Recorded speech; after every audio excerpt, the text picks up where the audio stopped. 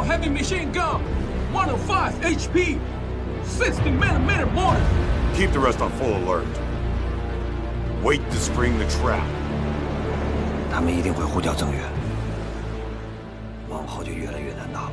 作为电影《长津湖》的续集，影片《长津湖之水门桥》以抗美援朝战争第二次战役中的长津湖战役为背景，讲述了钢七连战士对咽喉要道水门桥发起进攻，阻挡美军撤退的艰巨任务。影片以宏伟的场面、极致深入的细节刻画，展现出猛虎钢七连浴血奋战、保家卫国的家国情怀。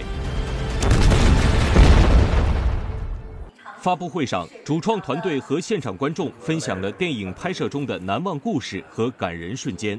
你设想一下，我们要是回到七十多年前那场那场战斗的时候，那是一个什么样的情况？我就每次拍完戏，只要拍完戏一收工，我就拿着拎着枪往回走的时候，我就说：“我说当年这仗是怎么打的？怎么打？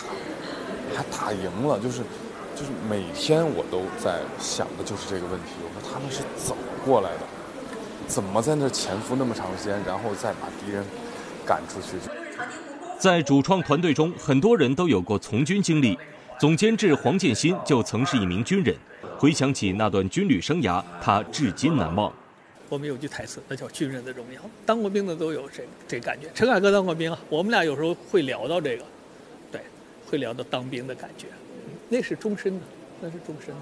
到现在我们就是遵守时间，从来不迟到，一般不太轻易表态。一旦说完了，这事儿就当真了，啊，就是这些都特别特别重要。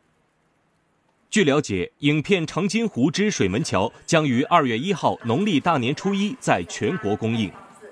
让我们通过一部电影来回望七十二年前的一九五零年，是在共和国的第一个虎年的时候。